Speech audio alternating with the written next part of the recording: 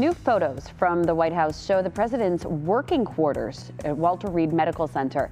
It's the same place that he's had visitors outside all weekend and even paid them a visit last night. But questions are looming over how he's actually feeling. So joining me now to brief us on the latest is NBC's Tracie Potts from the hospital. Good morning, Tracie.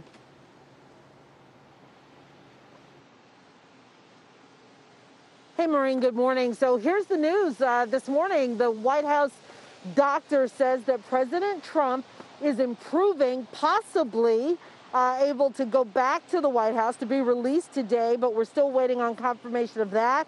His doctors say that his vital signs are stable, but outside doctors not involved in the president's care say that the type of treatment he's getting is not typical for someone who's doing well with this virus. These are new pictures released late last night of President Trump working inside Walter Reed Hospital after a brief drive by outside to thank supporters. Doctors say the president could be released today.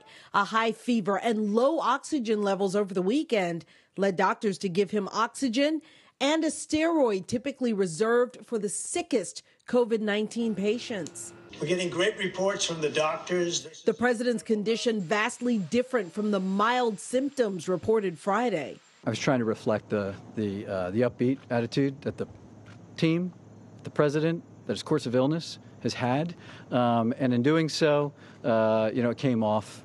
Uh, that we were trying to hide something, which wasn't necessarily true. Democrats are concerned the White House isn't telling the whole story. When it comes to something as vital as this, the health of the president, the health of the people around him.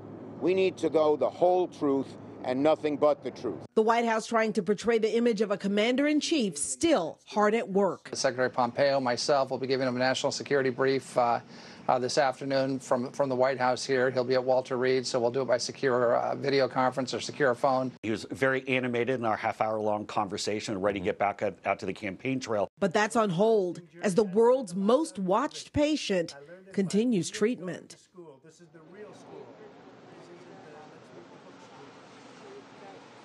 Also, this morning, NBC News has confirmed that in addition to the president's personal aide, there were two members of the White House resident staff who tested positive for COVID 19. That was weeks ago.